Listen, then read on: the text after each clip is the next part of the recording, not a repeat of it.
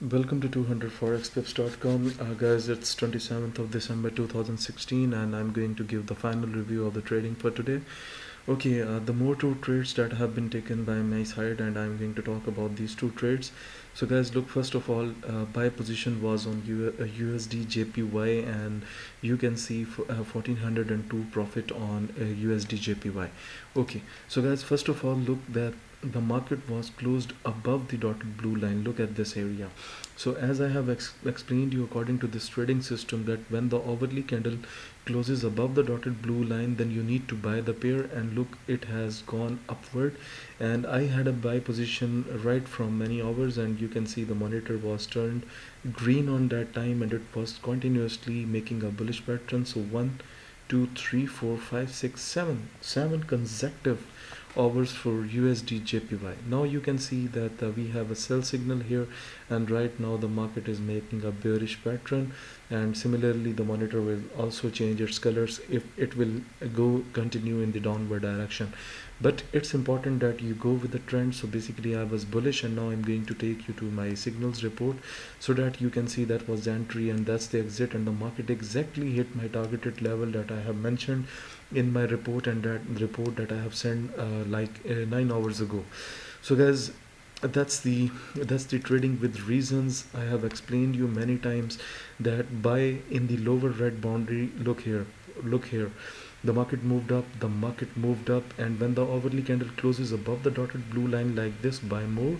And when you get a sell signal in the upper red boundary with a bearish confirmation then sell. Look here it was a sell signal on a, a, small chart and you can see the market is down. And now we have a buy signal and look the market is started uh, making a bullish pattern.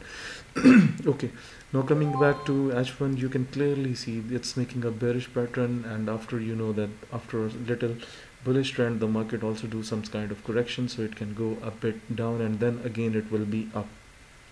So this is the trade uh, that I have taken on USD JPY and the next trade is on USD Canadian dollar here. Look as you know that the USD was strong today and that's what I have also mentioned in my uh, report that I have sent in the morning I can show you here.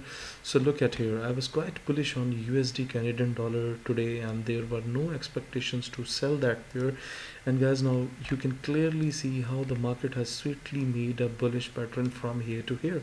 And also look at the hours one two three four five six seven eight hours. And even in the ninth hour the market is still making a bullish pattern. So look at the direction of the monitor. It was upward and the signal was green to buy the pair and look the arrow appeared at the right time and the market moved up. And that was the another confirmation. Uh, let me show you here. Look at this candle. This hourly candle was closed above the dotted blue line which was which meant that you need to place a buy order not to sell the pair and look the market is up on this pair. So guys this is called trading with reasons like uh, look at here then the market enters in the upper red boundary it takes the market down. When it touched the lower boundaries buy signal appeared and look how swiftly the market has went up. And after that again we have seen some decent uh, bearish momentum from the blue zone and look the doji appeared and reversal sign here.